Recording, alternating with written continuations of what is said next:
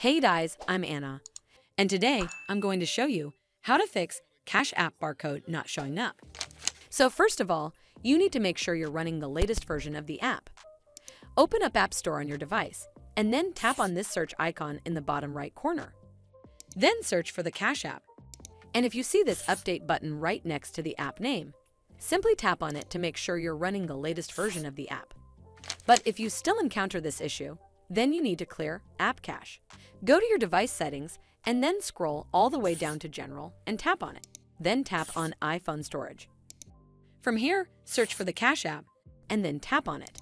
Once you're on this screen, you need to tap on Offload app. Tap again to confirm. It'll take a bit for processing, and then a reinstall button will show up. Simply tap on it to reinstall the app. This should fix the issue, but if it doesn't, then you need to completely reinstall the app. Follow the on-screen instructions to navigate all the way to the app page.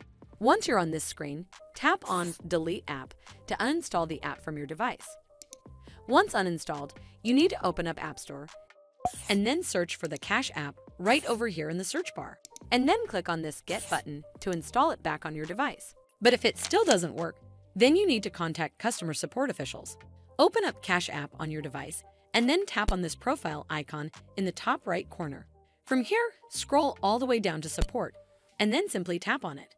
Again, scroll all the way down to the bottom, and then click on Start Chat to contact Cash App customer support officials. Now make sure you plead your case as politely and professionally as you can to recruit their help.